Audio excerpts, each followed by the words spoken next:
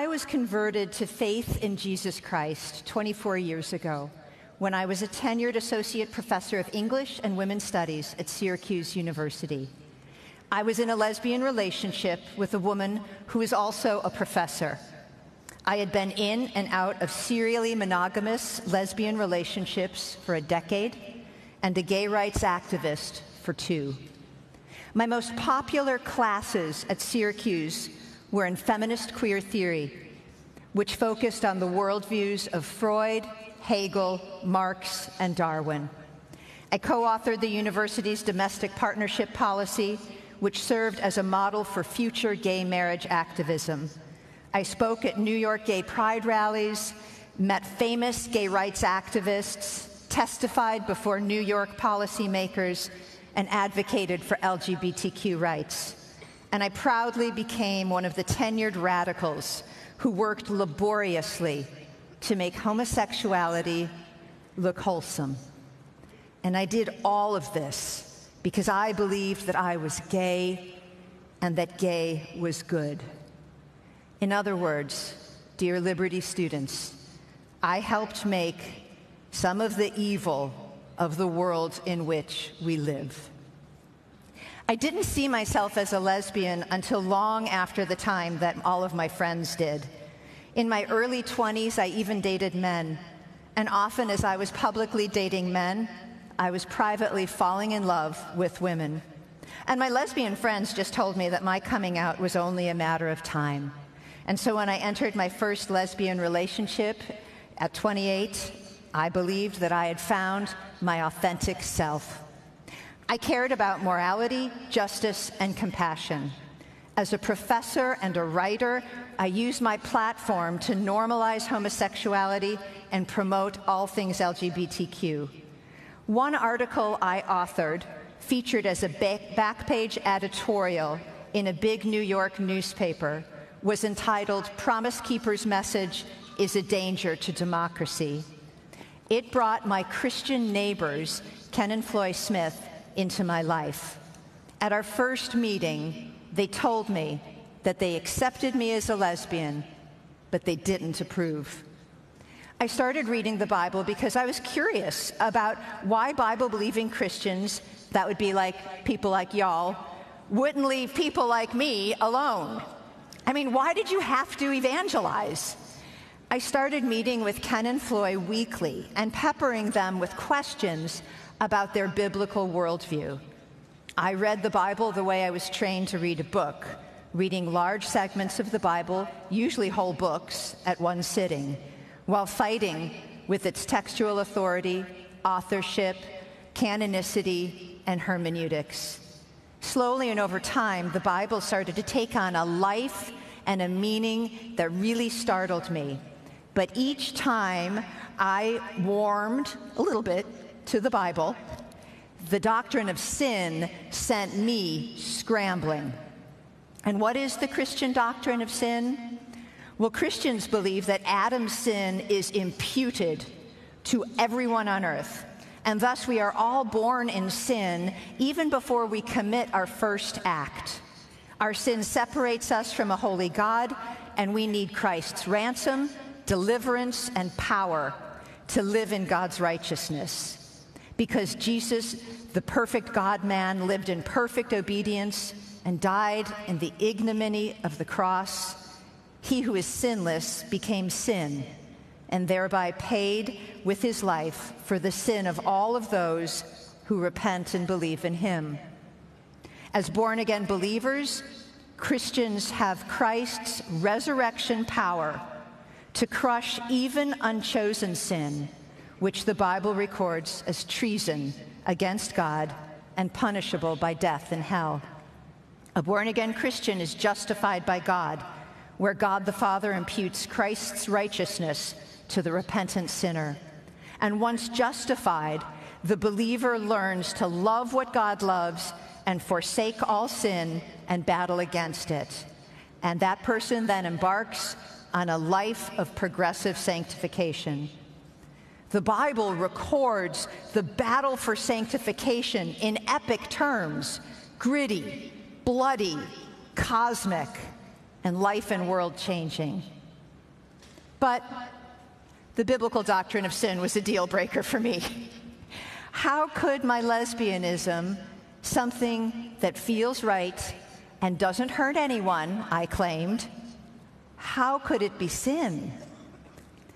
But there was also a clear biblical logical equivalence to faith that I had to confront. If God is the creator of all things, and if the Bible has his seal of truth and power, then the Bible has the right to interrogate my life and my culture and not the other way around.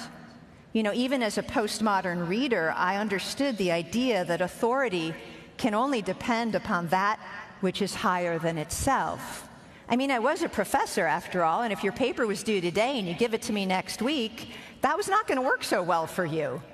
Uh, for no other reason other than I had authority over you. And I thought, who is higher than God? Well, my friends knew that I was reading the Bible, and at a dinner gathering that my partner and I were hosting, my transgendered friend, a biological man who lived as a woman and went by the name Jill, cornered me in the kitchen. One night, he put a large hand over mine in the kitchen and said, Rosaria, this Bible reading is changing you. And I felt exposed. But what if it's true? I asked. What if Jesus is real? and risen.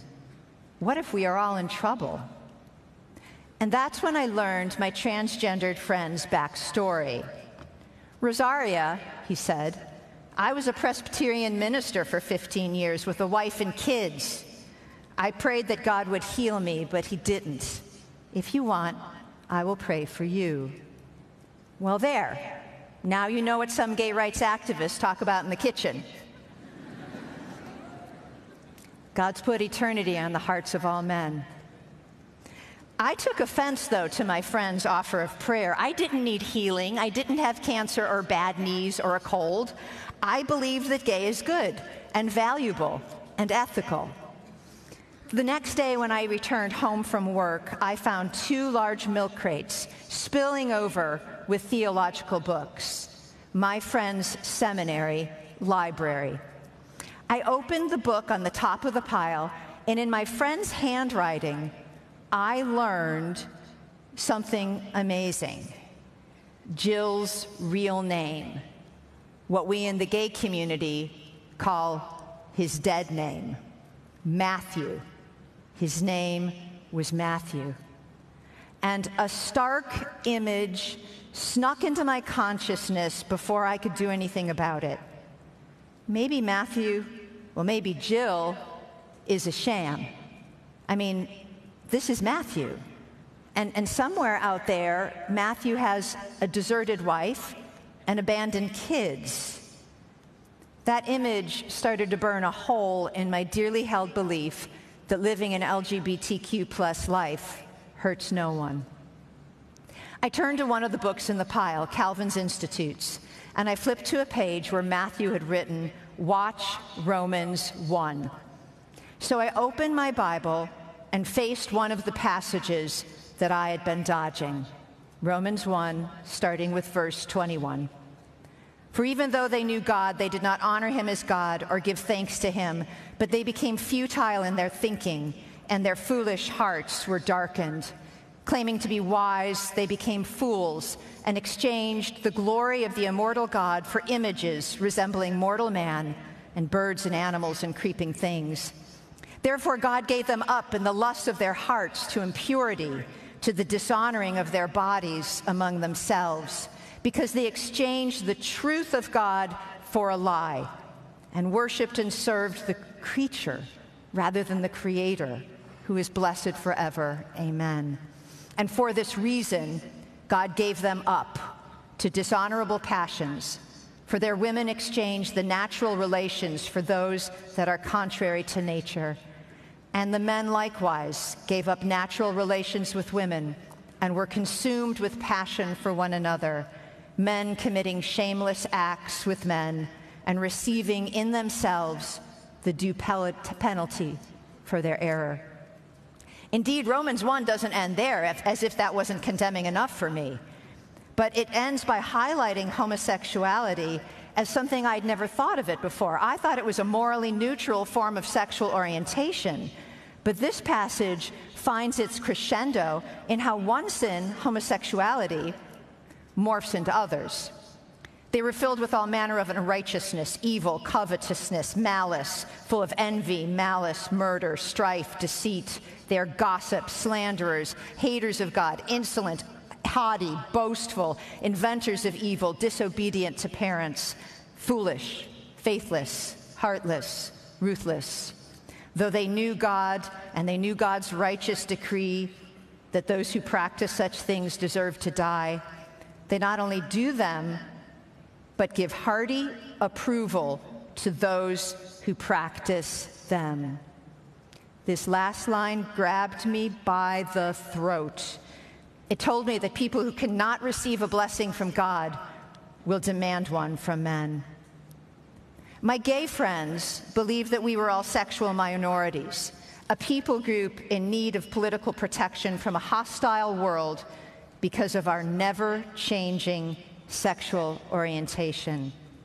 But that's just not how the Bible understands homosexuality. According to the Bible, homosexuality may very, very, may very well reflect how you in your sin feel, but homosexuality will never represent who you are. I pondered that. I had heard from a pastor on campus that I was made in the image of God as a lesbian. And so I asked my Christian friends about this. And they pointed me back to Genesis 1 27, 28. So God created man in his own image. In the image of God, he created him. Male and female, he created them. And God blessed them, and God said to them, Be fruitful and multiply. The created order the pattern that God calls good is clearly and unapologetically heterosexual. My Christian friends gently pointed out something else. Genesis 3:15 recorded that God has put enmity between his people and the world, the flesh, and the devil. Enmity is a strong word. It means inconsolable opposition and transgenderism and homosexuality come from the world, the flesh, and the devil, not God's created order. My homosexuality was at enmity with God. That was the Bible's witness against me and against my life, like it or not, and I didn't. I started to think about what this meant for me and my friends long term the Bible makes clear that we are male and female image bearers of a holy God whose soul and sex are ontological. They will go beyond this earth. But what about my friend Matthew? Well, from the Bible's point of view, if someone has mutilated his own body in the name of transgender delusion, but then repents of the sin of transgenderism, of the envy to be that which God has told you you cannot be, and puts his full trust in Jesus Christ, living in obedience to God's commands, his mutilated body will be resurrected in Christ to perfected glory when Christ returns. And he will live as the man he was intended to be for eternity in the New Jerusalem. You see, the Bible throws no one away, and neither should Christians. But the Bible sets the terms of God's blessing. God cannot be mocked. So, what does the Bible record as the sin of homosexuality and transgenderism, if not physically acted upon? Well, that sin is the violation of the 10th commandment. You are not to covet your neighbor's wife or his sexual anatomy. And desiring someone or something that God prohibits, even before you act sexually or medically upon that desire, is the sin of covetousness how devastating it was for me to realize that God had provided an entire commandment prohibiting the very thing I had given myself over to, coveting that which was not mine to possess. I had taught, studied, read, and lived a very different notion of what it meant to be a woman and a lesbian. And for the first time, I wondered if I was wrong. And after a year of wrestling with the Bible and meeting weekly with my Christian neighbors, two events unfolded that changed my life forever. The first was the moment the gospel revealed that I was Christ's enemy, that I was the enemy of my Christian neighbors, and that they loved me nonetheless. The second event was a growing reality that the Bible had gotten to be bigger inside me than I. Allow me to explain. Facing the fact that I was Christ's enemy was a powerful milestone. I was at Pastor Ken Smith's table, having shared another meal with my Christian neighbors, and I was nursing a grudge, coddling a feeling that these people, nice as they were, you know, they were my enemies. They didn't support gay rights, they didn't approve of my homosexuality. They accepted, but they didn't approve, and that stung. And after dinner, we sang Psalm 23. And we got, when we got to the line, A table thou hast furnished me in presence of my foes, or as the ESV puts it, you prepare a table before me in the presence of my enemies. I broke out in a cold sweat and my brain came to a full stop. You see, I thought I was dining in the presence of my enemies. You know, these judgmental Christians who didn't approve of my homosexuality. And clarity came like a tractor beam. Just the opposite was true. I was the enemy. I was Christ's enemy, and I was my Christian neighbor's enemy, and they loved me in obedience to Christ. And they sat me at their table, and they told me the truth. And that night, I experienced for the first time the fear of the Lord, or what Thomas Chalmers has called the expulsive power of a new affection. Uh, the second event was a slow realization that this Bible reading, psalm singing, and prayer was changing the way I thought about things. In the privacy of dark morning prayer, as I turned the pages of my heart over with the pages of the Bible, I marveled about having a holy Father who loved me enough to tell me the truth. Jeremiah 23 29 says, It is not my, is my word not like fire and like a hammer that breaks the rock in pieces? The word was shattering me, and something deep inside me was responding with relief. I realized that I now believed that the resurrection of Jesus Christ was objectively true, and it would be true whether I believed it or not. The power of the Word of God overflowed into my world, and the image that crashed like waves in a raging sea of me and everyone I loved suffering in hell vomited into my consciousness and gripped me in its teeth. We in hell rejected the Bible's interpretive authority over our lives. The meaning of my homosexuality was laid bare. I worshiped myself. I worshiped my feelings over the God who created me. I started pondering the question where did my homosexuality come from if God didn't create anybody to be gay? Could the fall of Adam be so profound that it exposed my deep feelings as sin? Is my sexual desire for women a reflection of love? Or is my lesbianism an act of violence against the woman I claim to love and against the God who loves me perfectly? Who am I? I wondered. Philosophers sometimes distinguish between the phenomenological and the real, and the ontological and the true. And I wondered if being a lesbian, while real, was perhaps not true. If Jesus could split the world asunder, divide the soul and the spirit, judge the thoughts and intentions of the heart, could he make my true identity prevail? Who would God have me to be? The Bible makes clear that fallen flesh and a redeemed mind have a troubled relationship on this side of eternity. For many people in the Bible, their redeemed identity and calling comes only after a long struggle with God, with wilderness, with dreams and hopes and plans dashed and destroyed. What will become of me if Jesus takes over? You see, the cross is ruthless. You know it's an instrument of execution. It makes no ally with the sin it crushes in the death and resurrection of our Lord. But what if I commit my life to Christ and my lesbian feelings never disappear? Does that mean that God does not love me or hear me or care? Who is this Jesus? Did I know him? Did I still lack understanding? Could I trust him? And then one ordinary day I came to Jesus. I was in church and we were singing Psalm 119. And when the line, This has become mine, came out of my mouth, I realized that I had just sung condemnation unto myself. And I was actually in tune enough with the Holy Spirit to feel his convicting rebuke. This Bible was not mine. I had scorned it and cursed it and despised it, and I taught thousands of college students to do the same.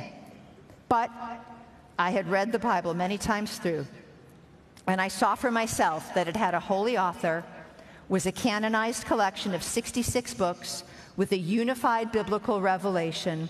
And when the phrase, this has become mine, came out of my mouth in congregational singing, I was attesting to this one simple truth that the line of communication that God had ordained for his people required wrestling with Scripture and wrestling with sin.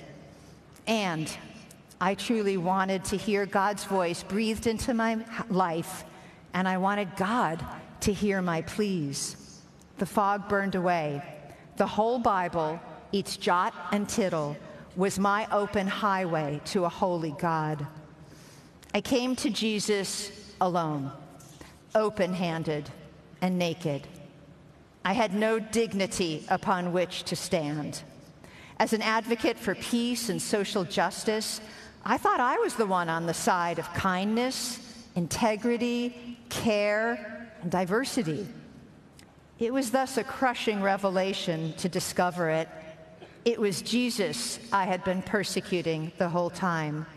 Not just some historical figure named Jesus, but my Jesus, my prophet, my priest, my king, my savior, my redeemer, my friend.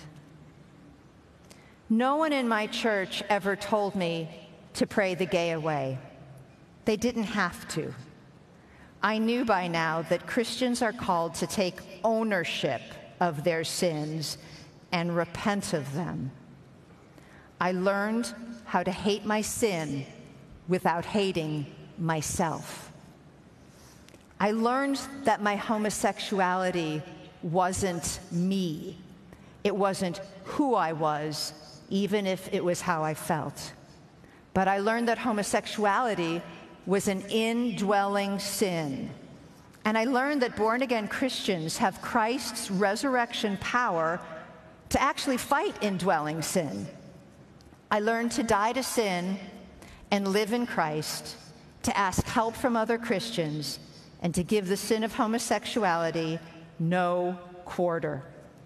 Christians are called to starve sin and mortify it, to cling to Christ, and to grow in the grace of his knowledge, righteousness, and holiness. And I also learned one other thing you cannot bypass repentance and get to grace. The way to grace is through your repentance. And after we repent and turn away from our indwelling sin, and maybe we have to do that a thousand times a day, I really do get that, we must cultivate what God loves. And when it comes to the creation of men and women, what does God love? He loves biblical marriage. I started to think of my lesbianism as a false identity and my life as a lesbian as a season, albeit a long season, of sinful confusion. I prayed that God would make me a godly woman, and if God willed, a godly wife. And I was now repulsed by the sin of my own lesbianism, even as I still experienced the feeling of it. I learned that's what it means to go to war with your sin. The Lord answered my prayers, and a year later, I met and then married Kent Butterfield. My husband now.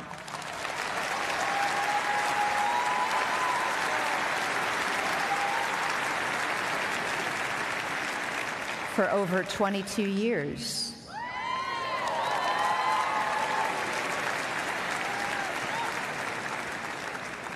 God has allowed me to be a wife and a mother and a grandmother, a, a, pastor's wife, and a servant in the church. I count my family and church as God's greatest earthly blessings to me. And I have come to learn that while homosexuality is part of my biography, it is not part of my nature.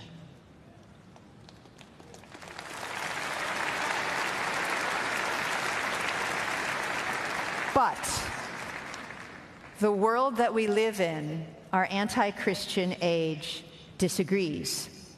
It believes once gay, always gay, along with a host of other lies. If I had a dollar for how many times some gay Christian told me that my problem is internalized homophobia, I'd be a really wealthy woman. Indeed, five lies of our anti Christian age have coiled their way from the world to the church. And I have nothing to stand on. I used to believe all of these lies as once. And what are the five lies? Well, we just covered one of them homosexuality is normal. The second lie is that pagan spirituality is kind and inclusive. The third lie is that feminism is good for the church and the world. That should get a little something out of you guys. I'll take it. The fourth lie is that transgenderism is normal. And the fifth lie is that modesty for women is outdated and dangerous.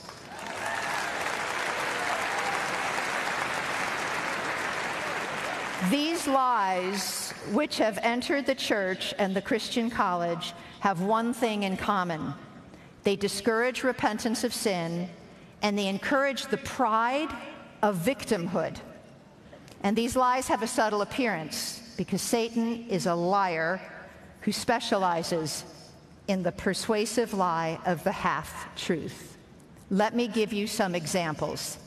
Have you ever heard that same sex attraction is a sinless temptation and only a sin if you act on it? Or that people who experience same sex attraction are actually gay Christians called to lifelong celibacy? Or that people who experience same sex attraction rarely, if ever, change and therefore should never pursue heterosexual marriage? Or that sex and gender are different and that God doesn't care about whether men live as men and women live as women, because all you need to do is grow in the fruit of the Spirit, as though the fruit of the Holy Spirit can grow from sin. I have heard all of these lies, and just in the last year, from Christian ministries. And this is where I name names, and I'm an English professor, so I call this citing my sources.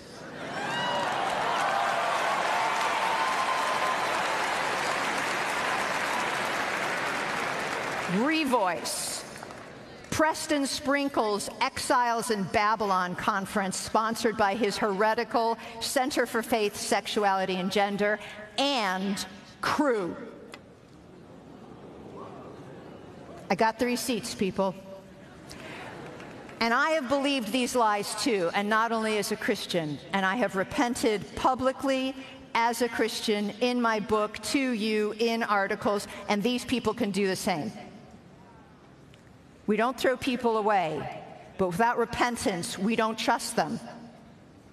We trust repentant saints, not just people with flashy ministries.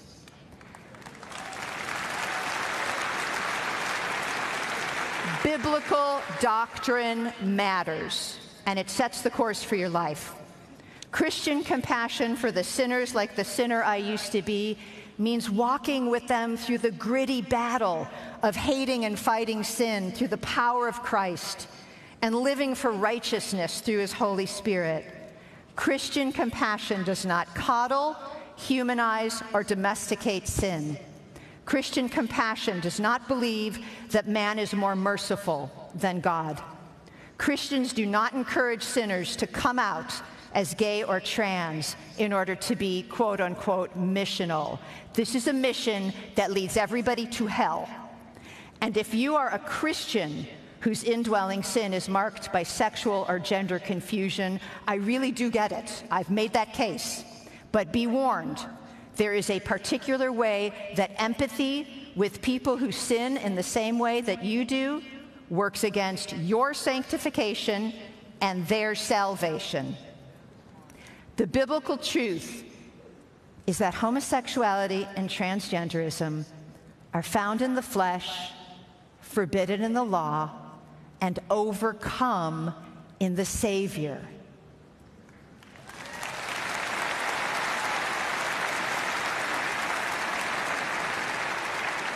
Do we measure up? No, He measures up for us. The fact that flesh loves sin doesn't make sin lovable. As a believer, you cannot have a secret love of sin and an authentic love of Christ. I stole that line from my husband. He said it last week in his sermon. the Puritan Thomas Watson says Christ is never loved till sin be loathed. And the fact that you did not choose the sin of your flesh does not make it somebody else's responsibility. Sin doesn't make you a victim, you make yourself a victim by not driving a fresh nail into your choice sin every day or a thousand times a day and fighting your sin until it's dead.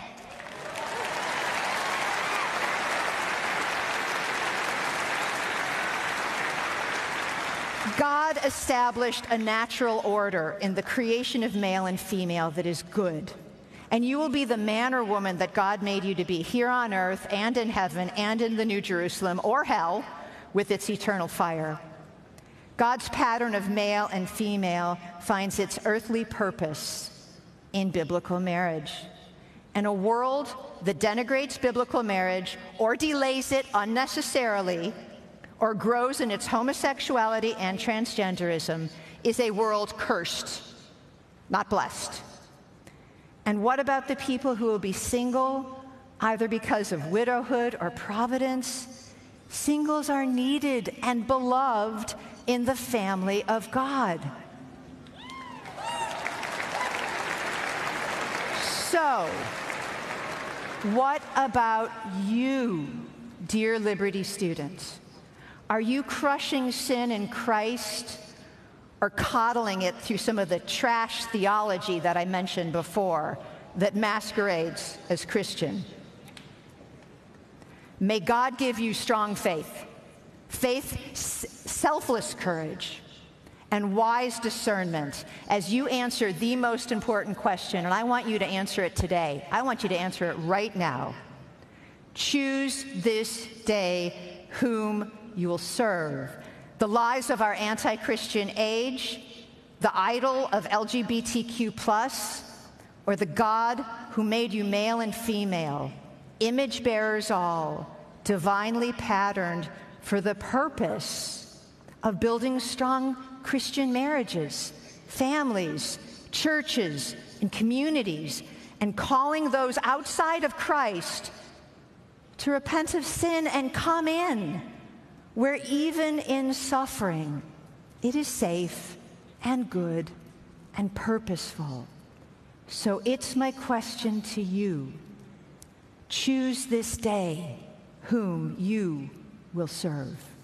Thank you.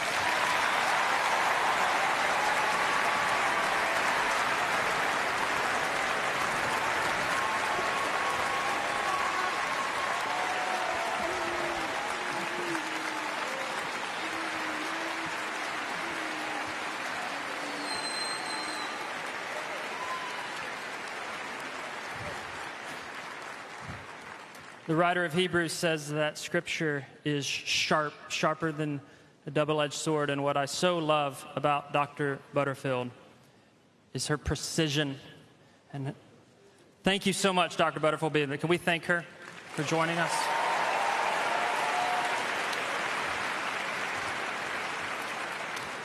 Two quick reminders. Number one, there's still some tickets left for the concert tonight with Ali Page. That information will be on the screen. I'd encourage you to get that. Also, we have less than 100 spots that are still available um, for next Tuesday and the trip to DC. That information will be on the screen as well. Um, about 70 spots of a 1,000 that are